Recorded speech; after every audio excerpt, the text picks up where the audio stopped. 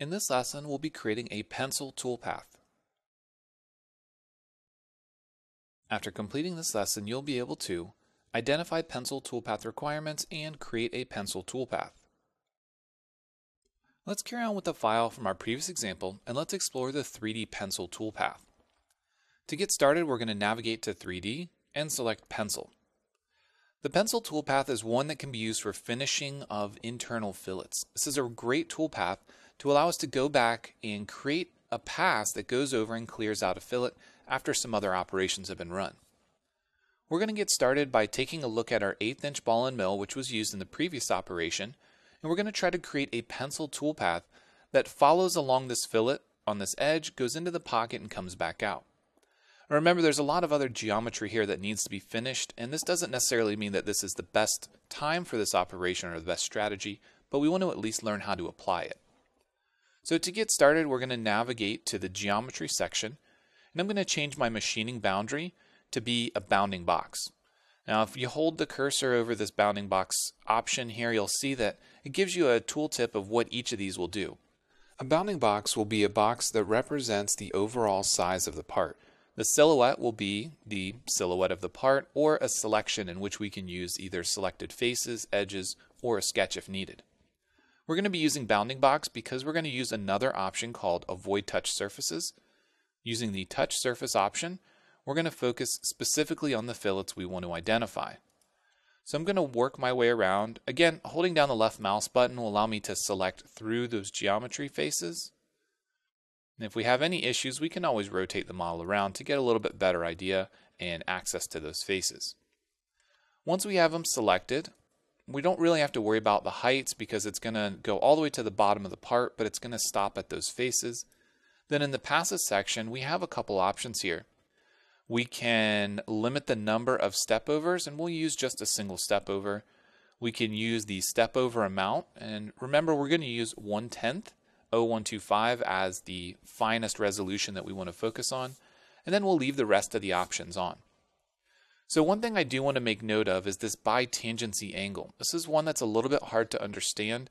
And if we hold the cursor there again, we get a tooltip and it helps you understand a little bit better in terms of the angle, the degree that is actually representing the contact point of the tool. So the smaller this degree, the smaller the contact point of the tool is when it's calculating these passes. This can be anywhere between 0 and 90 degrees. So if it goes higher than 90 degrees, you will get a warning. For example, if I put 100 degrees in here, it's going to turn red and tell me that it needs to be 90 or less. We'll leave it at the default 20 degrees for now, and we'll say OK. So you'll notice in this case that we get a warning and there's no toolpath. What's happening with the pencil toolpath is we actually need to have a tool that matches the radius of our fillet. So we're going to modify this, select Edit, and select a different tool. This file already contains a few additional ball end mills. Tool number one is a quarter inch ball end mill. And if you remember when we measured this, we had a quarter inch diameter on this fillet. So now that we have the right tool, if we say OK and allow it to regenerate, we can now see that there is actually a pass that's created here. If we select all of our setup one and go to simulate, we're going to use go to next to go past all of our previous operations then we're going to take a look and play through the pencil operation to see what it looks like. So with pencil, you can see the tool comes in here, works its way back, and it cleans out that fillet. So if we rotate this around, you can see exactly what we have here. We've got a nice representation of that fillet, and the tool has gone from side to side all the way down into that pocket and around and back up. So there are many other options that we can use for this toolpath, but let's explore it on one more section on the fillet that goes around the outside. Because this comes up to a sharp corner and we want to see how it works in this situation. So we're going to go to 3D and again down to pencil. But this time, knowing that we have to use the appropriately sized tool, we're going to grab tool number two, the 3 8 ball end mill. Then we're going to go to our geometry section. Again, I'm just going to use the bounding box and focus specifically on certain surfaces. We'll use the touch option. Then we're going to grab each one of these faces that belong to this fillet. And we're not going to adjust any other options. We're simply going to say OK and let it create this. Then I want to select the entire setup one. Again, I'm going to simulate. I'm going to go back. navigate through all the previous toolpaths, making sure everything is clear, through that last pencil, and then we'll play through this final one. So it's coming in, tracing along that fillet, and then it's cleaning it out. If we zoom in, you can see that there is a minor lip here. We will have to take the tool and do a couple other passes to clean that up. But for the most part, it's taking that tool and it's going along the fillet like we would expect and cleaning it up. So now let's explore some of the options inside the toolpath. We're going to edit, we're going to go to passes, and notice that we have some options in here for tolerance values, for an over thickness value, which adds an additional thickness to help detect the tool passes. So this is going to be if we have a difference in the tool radius and the actual fillet, we can increase this value here and we can actually get into the area where we have a discrepancy between these. We're not going to be using that since we have an appropriately sized tool. For the link inside to outside in the inside outside direction, we're not too worried about the direction because it's just going along this fillet from side to side. We can add additional stepovers and we can add an amount here. And again, we're going to be looking at 035 so it's going to be a tenth, uh, roughly a tenth of our tool. So it would be 0375 if it was exactly a tenth. We can cut in both ways if we want. The up-down milling, uh, it's currently set to don't care, which is fine. But this allows us to determine whether or not we're only going to go a single direction if we're going down geometry. And again, we're only moving in X and Y in this case. We're going to go into linking parameters.